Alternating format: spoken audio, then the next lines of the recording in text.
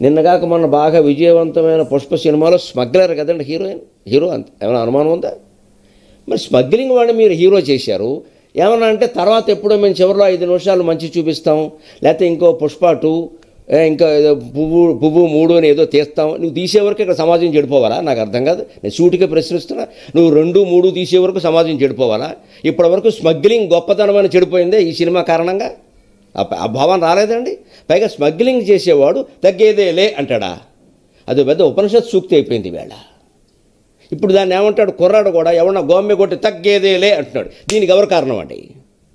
మరి నాకు కోపమే వస్తుంది. ఎందుకు రాదు?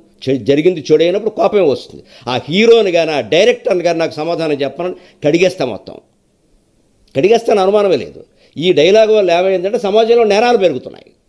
తగ్గేదేలేని ఎవడనాలి? హరిశ్చంద్రుడు లాంటి వాడు అనాలి శ్రీరామచంద్రుడు లాంటి ఒక స్మగ్లర్ వాడడం ఏంటంటే ఆ డైలాగ్